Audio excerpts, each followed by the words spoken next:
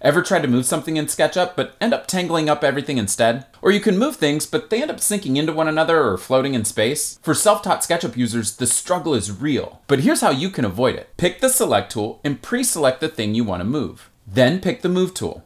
And it's a two-click tool, so you can click and let go on a very specific spot to pick up the object, and then click and let go on another specific spot to set it down. Where you clicked first will match up with where you clicked second. So you want to be really intentional about both clicks. You can pair this technique with inference locking. So while you're in the middle of moving something, you can press one of your arrow keys to lock that direction. The up arrow is for the blue axis direction, right arrow is for the red axis direction, and the left arrow is for the green axis direction.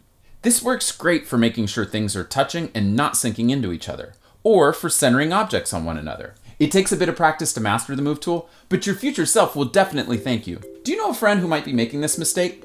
Be sure to tag them to help them out. Oh, and this is just one of seven critical concepts we cover in our Getting Started with SketchUp video. Be sure to watch that video on our channel now so you don't miss the rest of the tips. Oh, and don't forget to subscribe so you don't miss the next video. Until next time, happy sketching!